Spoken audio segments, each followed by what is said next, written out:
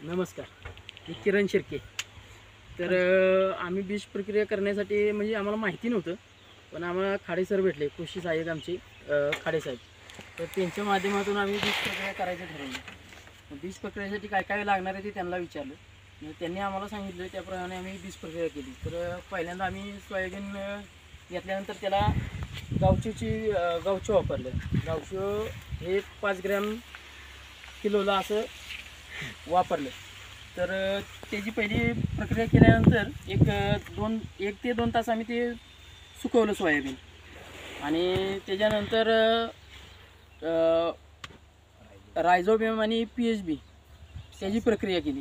तर ते किलोला पाच ग पाच मिली रायझोबियम आणि पाच मिली पी एच बी ते वापरलं. आणि त्याची प्रक्रिया करून एक परत एक दोन तास ते तसंच सुकत ठेवलं. आणि त्याचे ते वापर झाल्यानंतर ट्रायकोडामा हे वापरलं. ते दा पाच